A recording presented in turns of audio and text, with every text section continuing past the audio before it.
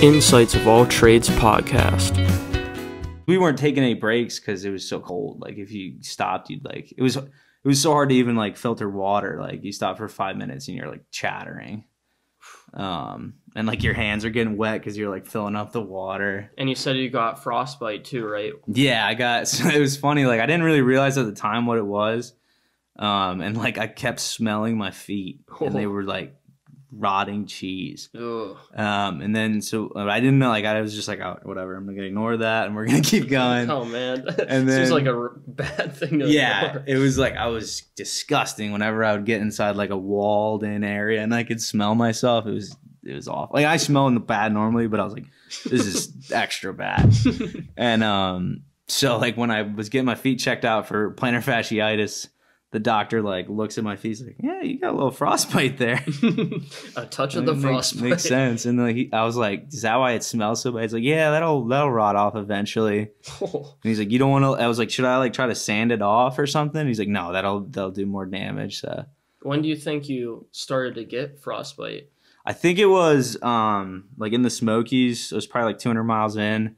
We had a good two or three weeks where every single day we were walking in snow, and like And you made it the whole way to Virginia with that yeah, bothering you? That is insane. I'm um, glad you still have your feet. yeah, I, I'm probably pretty lucky. It didn't like it was. He said it was superficial. Um, there probably wouldn't be any nerve damage or anything. yeah. But he's like, you'll find out next winter. like when it gets cold, if your feet get really cold, then you'll know. I was like, yeah.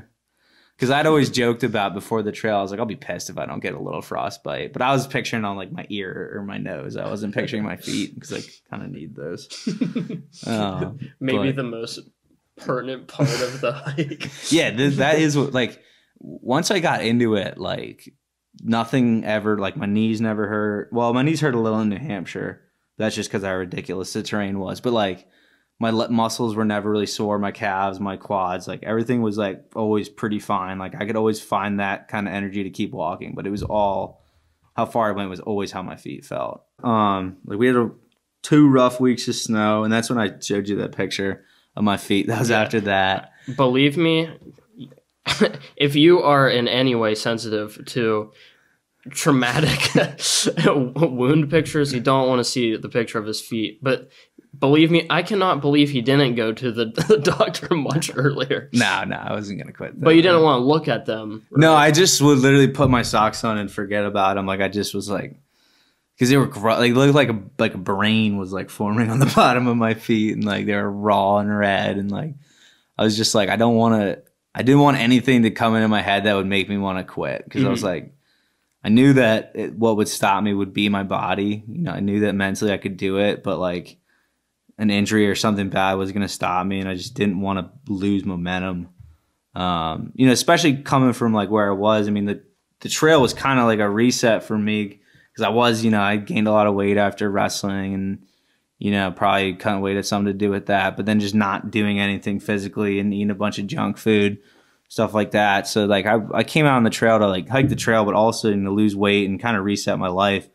So I didn't want to think about anything that would stop that. Yeah. Um, and so as we were coming up through Virginia, my feet were just hurting worse and worse. Not related to frostbite, which is what I had, but they were just um, it was plantar fasciitis, where like the arch of my foot would get super inflamed and super painful. Especially like I could once I started walking, it would like stretch the tendon out and it would be okay.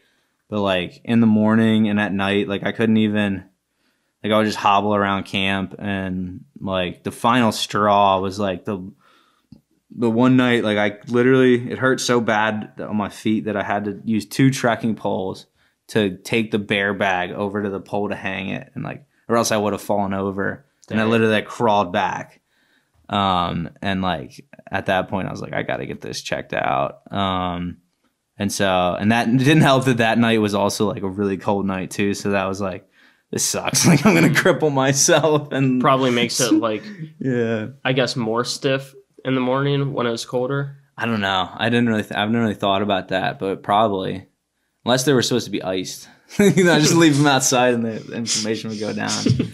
um, but I went to the doctor and he was like, "You'll be able to finish um your hike, but you just gotta take a little time off, stretch your feet out."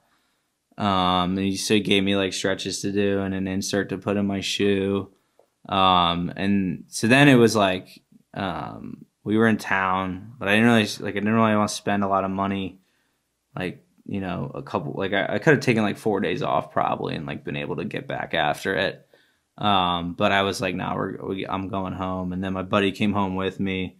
Um, so I ended up taking like three weeks off the trail and like just stretching, rolling it out with a tennis ball